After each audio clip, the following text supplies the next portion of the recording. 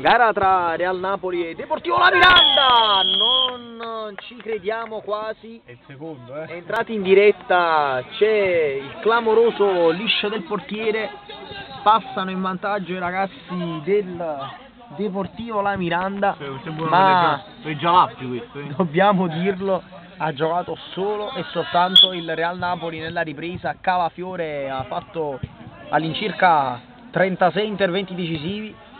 Attenzione però adesso subito a Real Napoli, vanno in avanti. La palla termina in calcio d'angolo. Incredibile per il Real Napoli questo gol, anche l'occasione del pari, attenzione ancora. Calafiore vola. Stavamo dicendo che proprio anche in occasione del pari il portiere del Real Napoli non era stato impeccabile.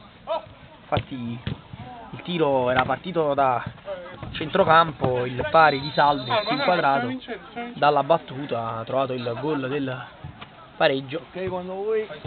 Olacco dalla laterale eh, cerca un passaggio davvero difficile per eh, il compagno Sofia, il pallone che termina fuori, davvero surreale con il commento tecnico affidato a Fulvio Sorgente, davvero surreale questa situazione, Real Napoli ha davvero giocato da solo in questo Una secondo tempo. partita veramente senso unico, però il portiere ha fatto un paio di errori determinanti. E, attenzione, potrebbe fare un altro, no? E, ovviamente la partita è decisa da episodi e questi episodi sono stati a favore de, sono stati contro il Real Napoli.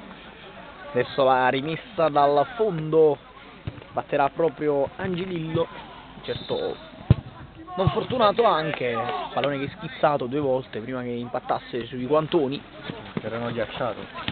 azione personale adesso sulla corsia di sinistra, splendido tutto tranne la conclusione e a porta, va però in rete Pezzella, questa volta Calafiore era andato ad intercettare il tiro di Enrico che però era stato rimpalato dagli avversari, Pezzella l'ha messa dentro, ristabilita la situazione di parità, è giusto così, 2 a 2, attenzione però al tiro, c'è stato proprio così il gol di Salvi, bello il numero adesso, palla al piede, splendida discesa, attenzione Enrico, parte il tiro, ancora, ancora uno strepitoso, davvero non ci sono più parole per Calafiore, davvero straordinario, dopo una splendida azione personale di Astarita, ancora Enrico, il numero non riesce su Olacco, il pallone termina fuori, interrompiamo qui il nostro collegamento, ricordiamo il parziale 2 a 2 tra Real Napoli e Deportivo La Miranda, vediamo per poco il gol del vantaggio del Real Napoli, interrompiamo qui il nostro collegamento.